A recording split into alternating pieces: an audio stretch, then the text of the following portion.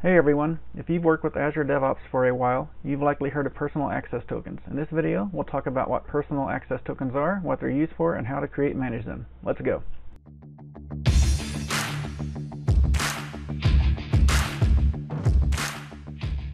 When you sign into Azure DevOps, you generally sign in using a Microsoft account or an Azure AD account. However, third-party tools don't authenticate in the same manner.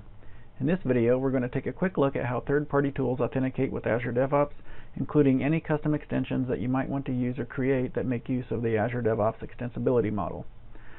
So when you're working with third-party tools or the Azure DevOps SDK, you'll be required to authenticate before being allowed access. This is often handled by providing the tool or API with a personal access token. So for example, the popular source control tool GitKraken requires a personal access token when connecting to Azure DevOps. So, what is a person So, what exactly is a personal access token anyway? PC load letter? What the f hmm. does that mean? As I mentioned a moment ago, the typical method for authenticating with Azure DevOps is to use a Microsoft account or Azure AD account, such as an Office 365 account or other Azure AD account that's been associated with your Azure DevOps organization. However, since by definition, third-party tools and extensions aren't provided by Microsoft, we should avoid handing out our Azure DevOps credentials. If you were to use your personal credentials for third-party access, for example, the third-party tool would have access to everything that you would normally have access to within Azure DevOps. So if you're making use of a custom utility that is only supposed to create work items, there is nothing stopping the developer of that utility from gaining access to your source code or anything else assuming your credentials have access. This is not a good security model. So instead, we should be authenticating with personal access tokens. A personal access token is essentially a password associated with a specific identity. So for example, if you sign into Azure DevOps as John Smith and create a new personal access token, then anyone that has access to that token can perform actions as John Smith, with some caveats that we'll cover shortly. Since a personal access token is just like a password, it must be managed accordingly. In fact, one could argue it's more sensitive than a typical password since no user ID is required to make use of it. You only need to gain access to the token itself to use it. So, now that we understand when and why we might want to use a personal access token, let's take a look at how we can create and manage them. Uh, before we start, I'd like to mention that Microsoft has recently introduced a new user experience for managing PATs. At the moment, this is still in preview and the new PAT experience needs to be enabled. However, depending on when you're watching this video, it might have become the default experience. So just to cover our bases, let's take a quick look at how you can turn preview options on and off in Azure DevOps. To enable this feature, click on your profile picture in the upper right hand corner and select Preview Settings. Scroll down, find the new PAT experience, turn it on. Then you can close the preview settings and now you'll have the new PAT UI experience. Okay, so to manage your personal access tokens, you need to click on your profile image and select the security option. By default, the personal access tokens will be selected. As you can see right here, personal access tokens over here. On the right hand side, you'll see a list of all of your active PATs. As you can see here, I've got quite a few of them defined for my account. Some of these are for various API related projects, but most of them are just simply for testing and demos that I've been doing over time. So taking a closer look, you can see that each token has a name uh, that is intended to serve as a reminder of what each particular PAT is for. Um, you might come back you know, several months from now wondering, what was that token used for? Uh, the status column here will show you whether the token is active, whether it's expired or revoked, and then the account, which is really your organization, uh, will show you which Azure DevOps organization this access token has been scoped to. And finally, the expiration date of the token itself. As you can see here, all I can, or all I have listed are active tokens. If you click on this drop down over here, you can filter. So for example, I can say, hey, show me all my tokens. And you can see I've got quite a few tokens that have expired here. I've got some that I revoked for whatever reason. And then again, I have several active ones. So let's go back to our active tokens. If you want to view the particular or excuse me, the particular attributes for a token, uh, like, like this one for example, just select it and then click the edit button and then you can see all of the details around that token for example the name that I've given that token apparently I decided to call that one my name for some reason um, which organizations it's tied to and then what the expiration date is. For example, you can set it to be 30 days out, 60, 90 days out, or make a custom defined date to be um, up to one year out from the time you create or update the token. You can set the scopes that you want this token to be limited to. You can have full access, or in this case, I've got a custom defined set of scopes for this particular token.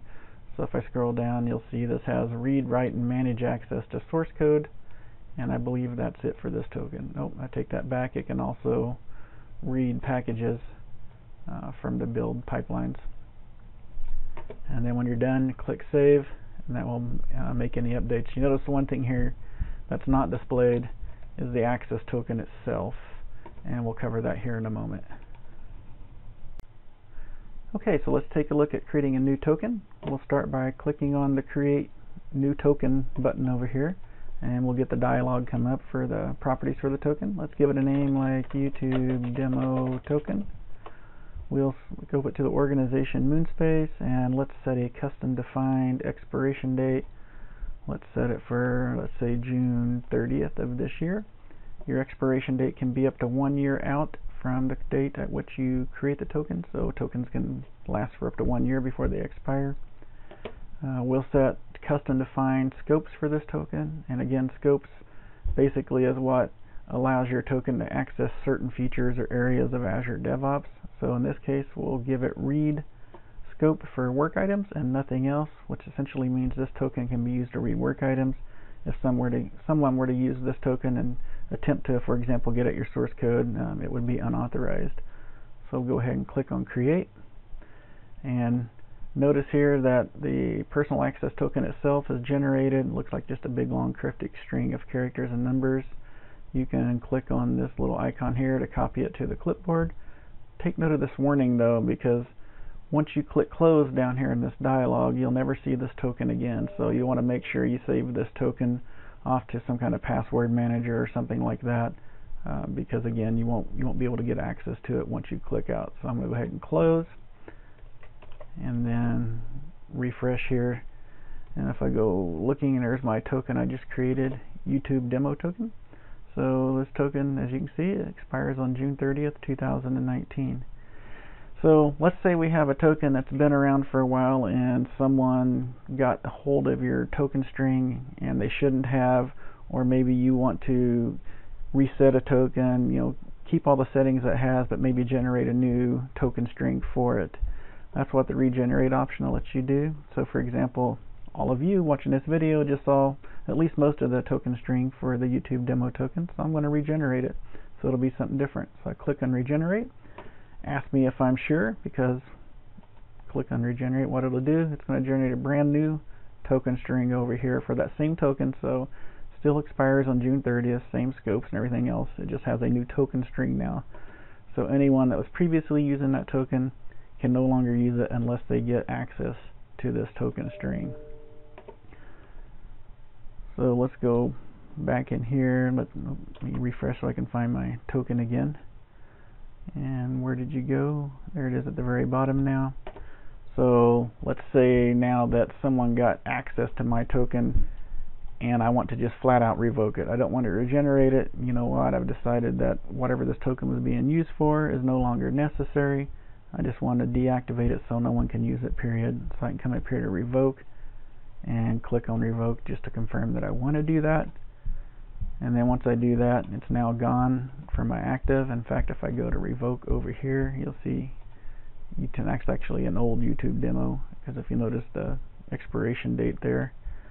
But if I scroll down here you'll find the one for June 30th 2019 that we just revoked. Okay, so as you can see, generating uh, personal access tokens and managing them is uh, pretty much a snap inside Azure DevOps. And it's worth mentioning again that these tokens are uh, essentially passwords and need to be treated as such. So here's a few key takeaways. Uh, first of all, make use of personal access tokens or PATs when authenticating with Azure DevOps, you know, especially if it's third-party tools or or something built around the SDK and the Azure DevOps extensibility model. Do not use the alternate credentials. I didn't really mention this earlier in the video, but when you bring up the page for personal access tokens, right below it is alternate security credentials. and that's a, a way of setting up essentially another password and user ID that'll work just like your credentials that you sign into Azure DevOps with. And this might be used for some tools. If there's anything out there, for example, that can't use a PAT for some reason, you can set up alternate credentials. The downside is, is the alternate credentials have the same permissions that your normal credentials would. So if they ever got compromised, then there's no way to revoke them other than to just delete them, period. Um, so do not use them, they're not as secure. And when assigning scopes to a PAT when you're creating it, use the principle of least privilege. So in other words, if it doesn't need it, don't add it. So like in the example I showed, all it needed was access to work items. So that was the only scope I gave to it. And then finally, store your PATs in a secure password store. You know, use something like KeePass or LastPass or one of the many other key stores that are available out there. There are quite a few of them. So I hope you found this video uh, tutorial informational and useful. Um, if you like it, please click the like button. I'm just now starting a, a series of videos, uh, mostly around Azure DevOps. At least the initial set will be around Azure DevOps, and hoping to produce at least one a week. So if you like what you're seeing here, click the subscribe button so you can come back and see what else gets posted next week. And thanks for watching. Watching.